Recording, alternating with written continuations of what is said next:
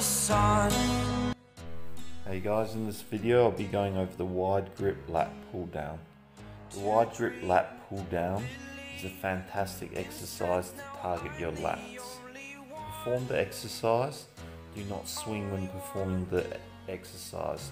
You want to keep your upper body still, use your upper back muscles to pull the bar down to your chest.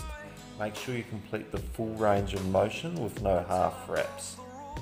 You want to squeeze your back muscles as hard as you possibly can at the bottom of the rep. Do not rest at the top of the rep. Keep constant tension on your back. Wide grip lat pull downs target the outer back and your lat muscles.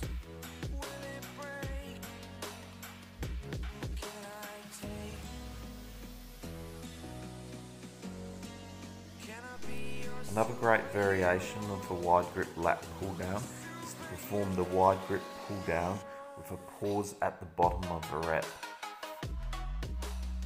This is a great technique that you can use to maximize what you get from the exercise. By pausing at the bottom of the rep, you're creating more tension at the hardest part of the movement for a longer period of time.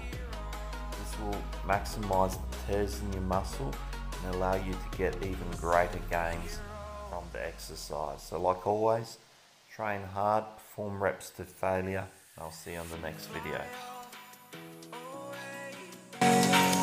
It's the first time of. Today.